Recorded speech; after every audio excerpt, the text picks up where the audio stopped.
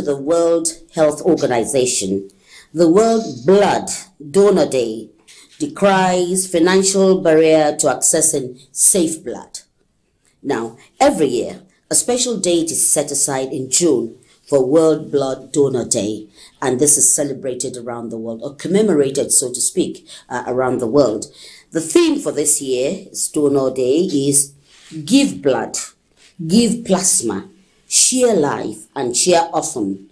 And so, on this special edition that is dedicated to commemorate the World Blood Donor Day, uh, on bridges, we tend to build a bridge where unpaid blood donors also contribute to save lives. And we are actually going to be celebrating a family that has been doing that since 2021, helping to mobilize and ensure that safe blood is available for use anytime. In fact, for this year, they are the crown wearers for the achievement of ensuring to mobilize more people to come on board and donate blood voluntarily. So welcome to Bridges. I'm Mujima Kojola and I'm pleased to be here today as we deliberate on one of the most essentials of life, which is blood. Now, we'll be talking about what blood does in the body, and I'm sure it's very obvious. Some of you know, some of you don't know. So be with us on this program.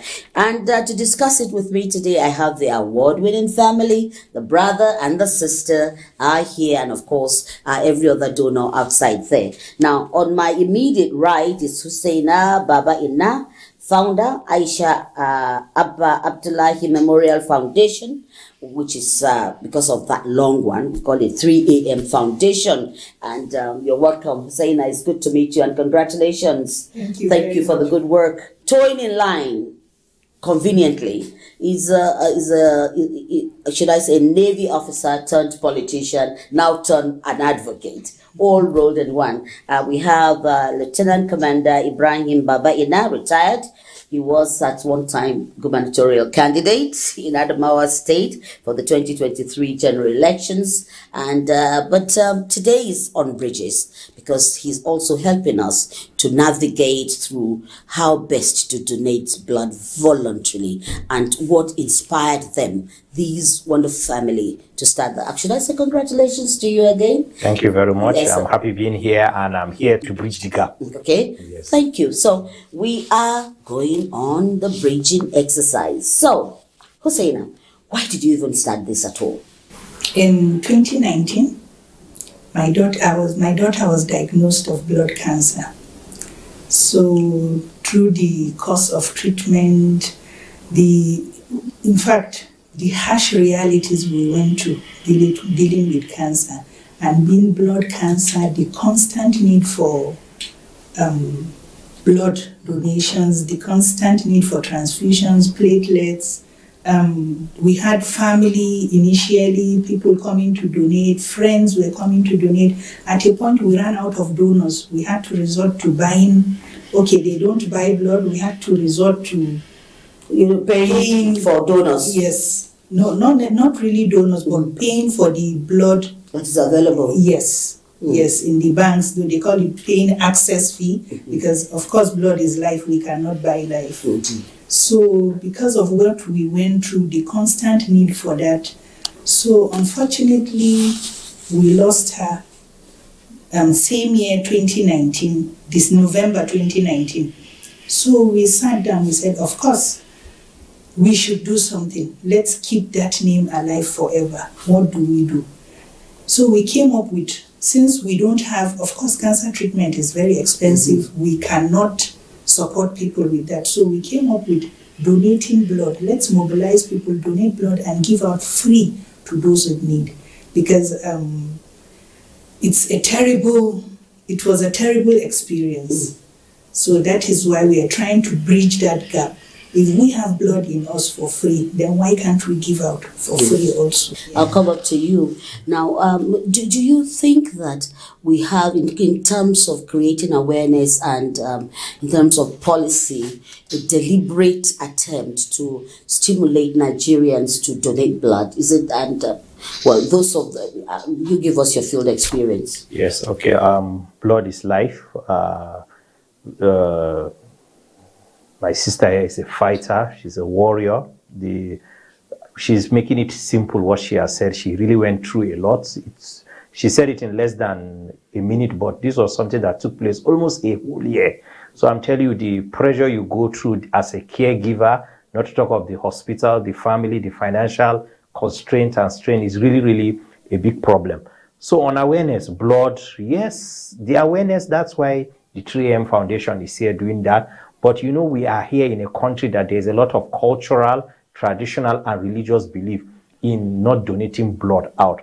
But a lot of people too are really picking up and getting it that this is really good, that donating blood can really save life. So it's a work in progress. We are part of the bigger puzzle the way we are speaking with you here, she's coming in and others coming. Before we know it, more people will be aware and more people can start donating blood.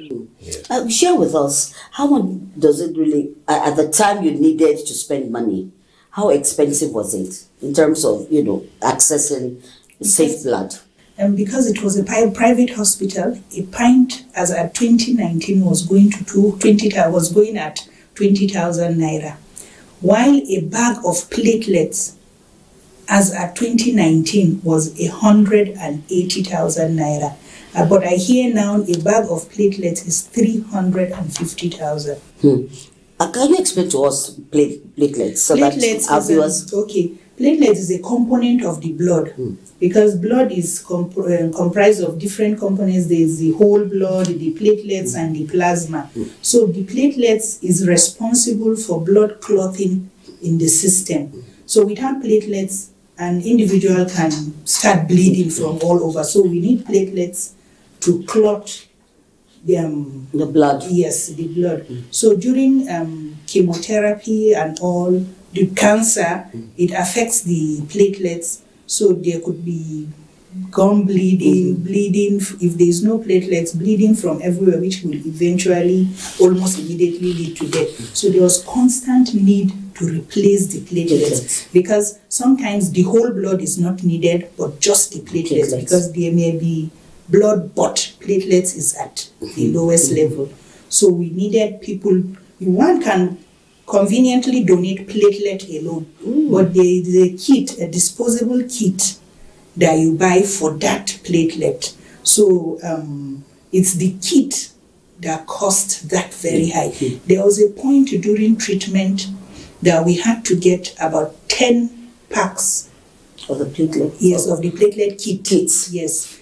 At that point, there was a day she needed platelets so bad that we were going around, there was no platelet available. In one of the hospitals, the platelet kit we had was not um, comparative, comparative with the machine mm-hmm. in that hospital. So that night, we had to call through Benin.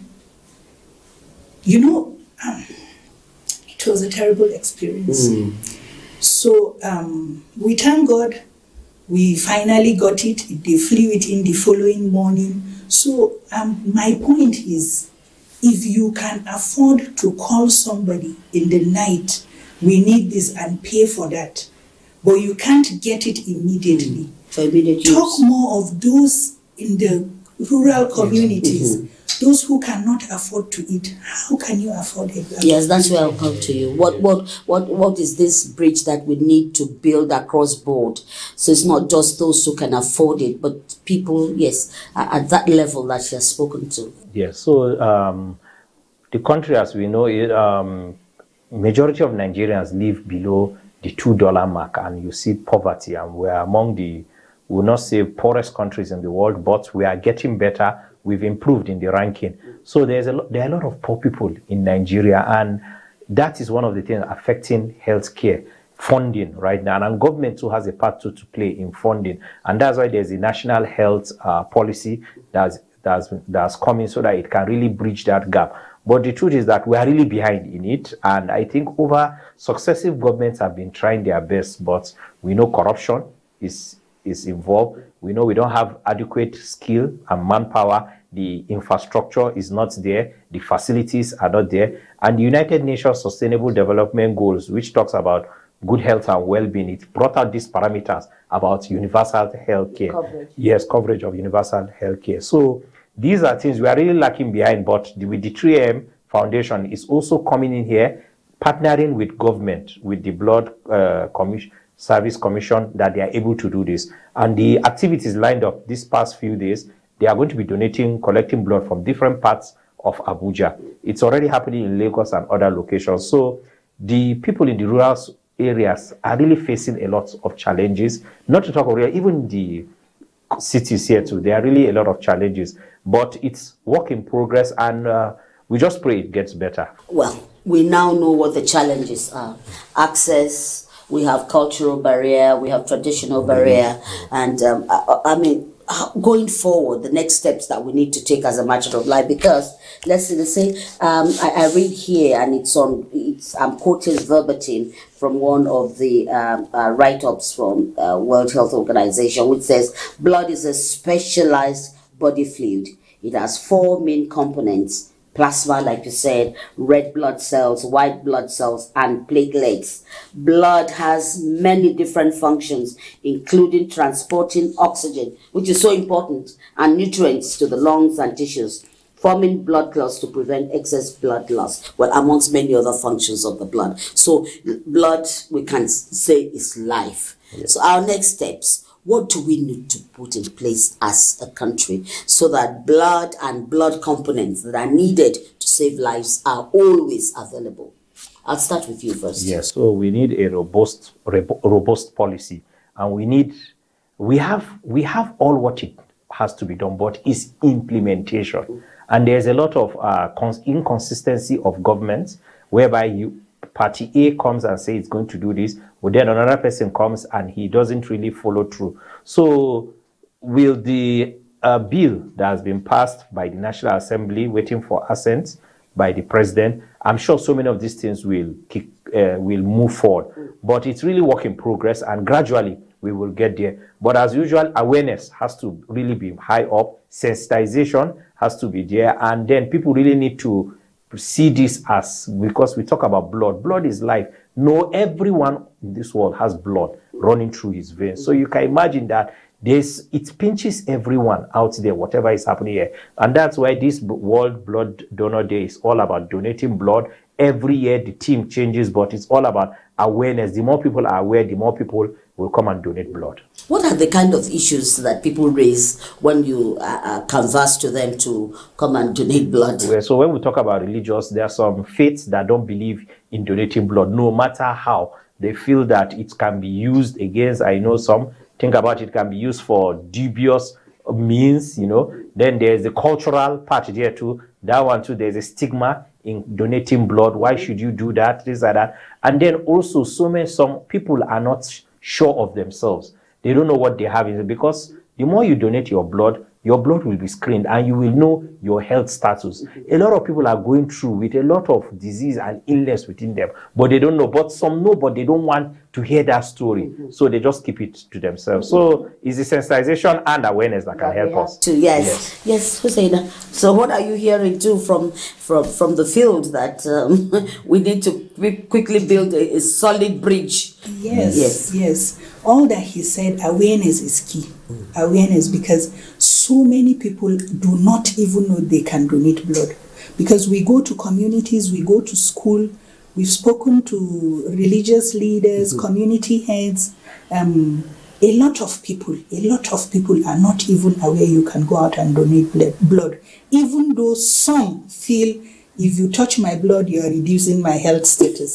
yeah, so many. Because we've been to communities like we've had different, we've had a lot of drives. We've been to Mabushi village. So many people there. People were, some were just so anxious, were eager to see, okay, let me look at those people donating. Mm-hmm. Afterwards, what is there? How do they What's the, how, what happens to them? yeah, yeah. So a lot of that we need awareness. Mm. Awareness is key. Mm. And then um, the National Blood Service Commission they're they're doing a very good job in providing safe and good quality blood to Nigeria. So they also need to be encouraged. What is the whole thing? It's all about the funding. as he said. They need the a lot should be put in place so that it can go round. As it is, we don't have NBSC in every state in Nigeria. Why can't we have that? There are people everywhere in Nigeria, so let there be um, organizations like that where people can just go to the office and donate blood so that they can also create more awareness, advocate for all these things. How come you won? I mean, you were crowned, you know, uh, uh, the 20, well, well, one of the 2023 drivers of World, uh, World Blood Donor Day. Yeah. How, how did you achieve that? Um, we thank God for that. I believe it's good because I was also surprised. Yeah, but um, they have been, the National Blood Service Commission have been our partners. They, they are our technical supporters for all the drives. And we've had drives in uh, Mabu, Mabushi village, as I've mentioned. We were at Jabi Motor Park. We were at the force headquarters. Yes, the Nigerian police force were really out and ready to save lives. They contributed a lot. Their officers were there to donate blood too. We've had drives at um, Women's Center, Women Development Center. We've had at National Mosque. And then yesterday we had our 2023 World Blood Donor Day at Wuse Market, where we had, yeah, quite a number of people came out. We had about Voluntary. voluntary blood donors. Yeah. I think um, we had about 64 people donating voluntarily. And this is people that are not, do not have enough awareness. They do not know because First some- time. First time. That was the first time. So I think we're doing a good job. Yes. And um, ma, I want to appreciate the International Society for Media of Media in Public Health because it's with things like this that we pass the message. The, um, this organization is indeed bridging the gap.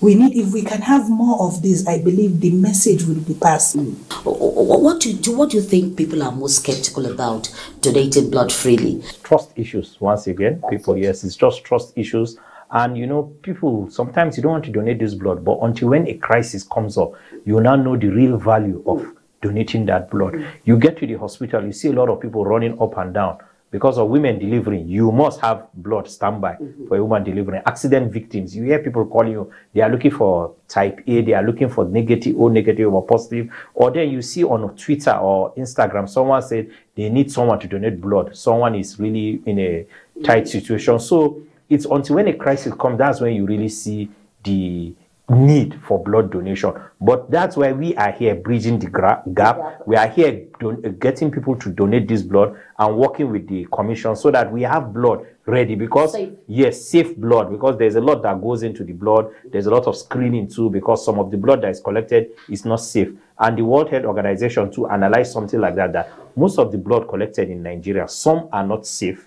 Yes because people don't really know what's happening. And that's why the screening takes place. And that's also why the cost of the blood is a little bit expensive Yes. So, in, in totality, what are we talking about now? We're saying that um, going forward, how many times can one donate? A a single individual. How many times can you donate blood in a year? Okay, um, for the male, after three months, Every three months. every three months. so we're then for looking like female, at four, uh, like four, four times, in a year. Four times. Okay. Yes, then for women after four months. After four months, Yes. yes. Um, um, recently, during this World Blood Donor Day celebration, an individual, Mr. Nathan, was appreciated, was recognized. He donated the 75th time this last this week. 75th. 75 times in a span of 18 years. Wow. And he's just 40, I think 41 or so years old. Wow.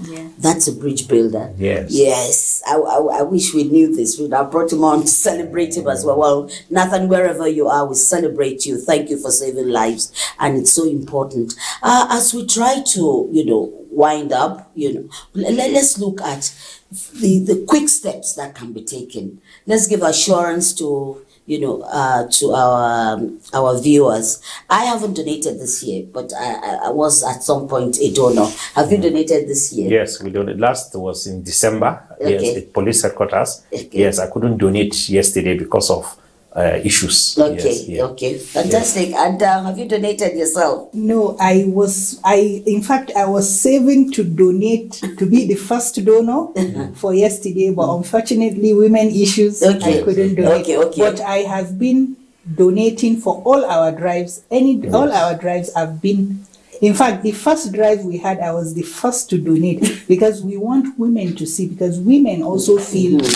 they don't donate. Even me before I started this I never knew women donated. Could donate blood, Yes. yeah. So I want women to feel free and know that even though you have monthly cycles, you'll be checked until you have your blood level high enough To donate. to donate. You will not be. There will be no bleeding. Mm-hmm. So let let blood donation be normalized in our society. Mm-hmm. Yes. Let it be a normal thing. It doesn't. It doesn't have to. We don't have to go begging and you know trying to convince people Mm-hmm. come and donate. Let it just be like the way you dip your hands in your pocket and donate to some charity Mm-hmm, event. Okay, yes, I want to donate blood. When I when and where? When and where? Okay, well, that is it. When and where? Yes, so, and I have my own card. There's a card every time you donate, it is written there. So I have the card. I couldn't come in here. I would have shown. Yes. my last donation was in December. Fantastic. Yes, so right now, the next drive, I will surely donate. And I've been telling my colleagues and friends, donate life, donate to save life. Life, because whoever who donates is a hero, really. Mm. People who donate blood are heroes. Ah, fantastic. So, yes, okay. We would continue to drive this because this is our own contribution to uh, ensuring that Nigerians uh, come out and donate blood voluntarily. And I always say it every year in and out that the blood you might be donating might just be the blood that will save your life or the lives of people around you. And anyway, the thing about it is that not every blood would go, you know, because it's an advantage. You get tested.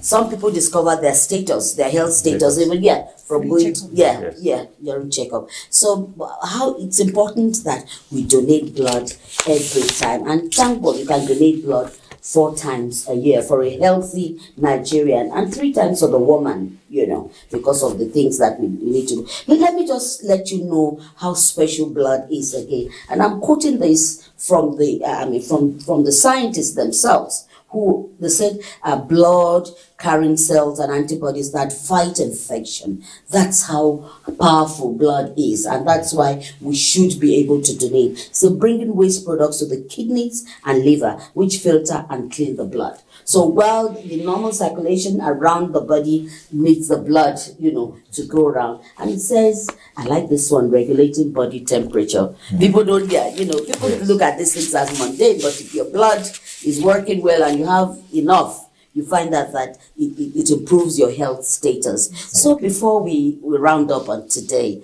um, let's start from from the Lieutenant Commander retired. Yeah, what, what are your what are your parting shots? I'll still say donate blood to save lives because if you save a life, we know heroes. We talk about heroes. When you save lives, you are a hero. So please be a hero out there and save lives. Please donate blood. Hmm. do not wait until you have to. Because before my daughter's diagnosis, I never had, in fact, I've never even seen my, myself close to anything like that. But once, once it started, it was a roller coaster. So don't wait for something bad to happen to you. Give out, help people, donate blood. It doesn't take much, it doesn't take long. Go out and donate. And It there will are save- centers, yes, and there are centers Yes, there where are you can, yeah, yeah. yeah, it's so important. Um, thank you, thank you for sharing your experience with us, and um, you know, may her soul continue to rest in peace. But that has stimulated us, you know, to be drivers of world, vol- I would say, voluntary blood donors. Because uh, until you do that voluntarily, you never, you never can say when you would need it. But the important thing is for you to know that blood is an essential. I want to thank you for being part of this. Uh, we'll, we'll, we'll, you'll, you'll see on the screen there uh, how you can join the 3 a.m. group to ensure that uh, blood donation is a constant in your life. And, you know, don't keep the message yourselves alone. Share it. Boys, girls, women, young and old, can indeed donate blood. That blood will save lives. Thanks for watching. This is Bridges. We'll be back same time next week.